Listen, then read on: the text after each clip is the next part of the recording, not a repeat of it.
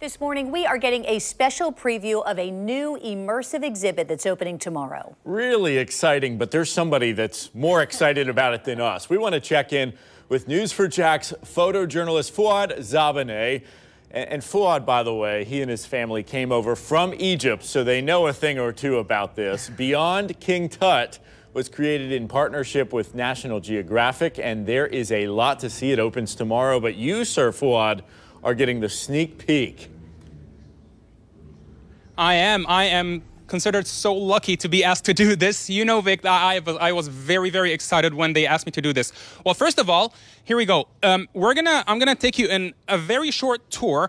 Um, we start the tour here in um, a theater that we're gonna watch like an introductory video about the history of King Tut, and the door opens automatically, and then you go through all of the Egyptian walls with a lot of hieroglyphics, screens, a lot of vibrant colors. Every single corner that you go to, you will see something that is very interactive, very, um, very immersive. All the walls has pictures, videos, text. This place is great. It's very informative. It's humongous. It's very educational. If you are a teacher or an educator and you want to um, to teach your kids about history and you want the information to stick into their brains, just bring them here. I highly recommend it. Just to give you a quick history, uh, the guests will be transported to ancient Egypt's 18th dynasty through a multiple galleries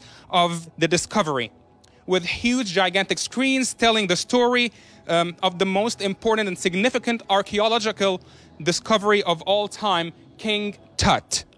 He was known to be the Golden King, as the tomb was um, the only tomb that was found sealed and intact. Um, I cannot express how happy I am to be um, in this experience. And um, now let me say in Arabic. And now let me say it in English. Reporting live from downtown Jacksonville. Fouad Raja. Channel 4, the local station. Oh, you rock, Fouad. Thank right. you. We love that tour. And the video is incredible. I, I, don't know why anyone wouldn't just be drawn uh, to, to this exhibit. It's in, it's fantastic. I mean, Beyond King Tut, it, it, opens tomorrow. It runs through September 3rd. It's located at the NOCO Center on North Hogan Street. Tickets start at around $34 for an adult and $24 for a child. For tickets and more details, you can go to the BeyondKingTut.com website and certainly Fouad gives his two thumbs up right there, his seal of approval. So certainly something exciting for people. It's not an exhibit that we get. you know, you don't normally get to get that up close and personal in Jacksonville, but it is now here for a limited time.